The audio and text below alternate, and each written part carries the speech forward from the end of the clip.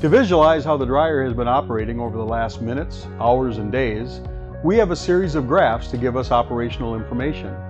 From the overview screen, we go to graphs. From here, you can view many different graphs.